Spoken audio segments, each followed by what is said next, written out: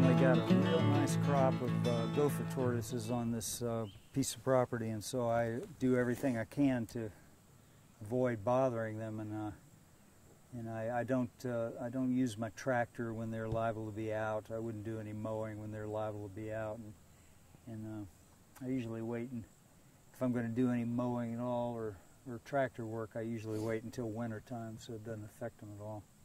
Because on this piece of property here, I've probably got a dozen gopher tortoises, you know, large sized gopher tortoises, and probably a bunch of babies.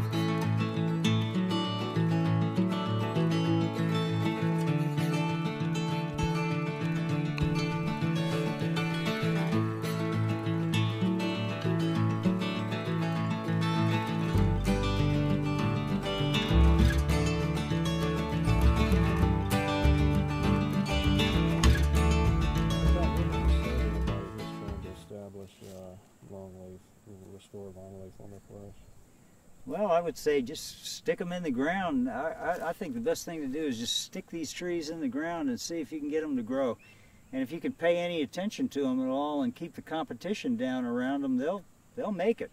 They don't all make it, but uh, a lot of them do.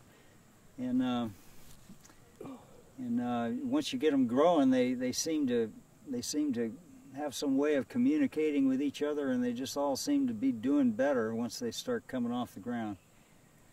Of course, I'm continually working on this property and keep opening it up as much as possible and keeping the competition down. So that's, that's